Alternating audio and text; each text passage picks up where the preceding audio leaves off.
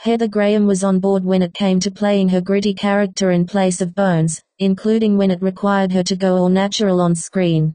The director, Audrey Cummings, was like, I don't want you to wear any makeup in this movie, Graham exclusively told Us Weekly while promoting the upcoming horror western. I'm just wearing this kind of faded dress that's not very flattering, and I just thought, I want to go for it. I want it to be real. I don't want to try to be this glamorous Hollywood actress. I just want to be the real woman during this time period who's just fighting to survive and take care of her daughter. The film, which premiered on Friday, August 23, follows Graham as Pandora, a mother fighting for survival with her daughter, Brielle Robillard, when a wounded outlaw seeking refuge brings a notorious bank robber and his ruthless gang, all desperate to reclaim a stolen fortune, right to their doorstep. Tom Hopper, Corin Nemec and Cowboy Cerrone also star in the action-packed thriller, which features a script by Richard Taylor. While Graham was more than willing to portray her character authentically to the times, she still found herself battling self-consciousness when ditching the glitz and glamour that typically comes with Hollywood filmmaking.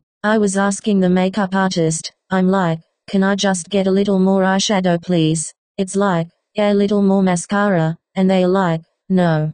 Despite any challenges she felt going into the project fresh-faced, Graham told us she fell in love with the film's script and the idea of portraying a strong female protagonist in a genre that typically lacks complex female leads.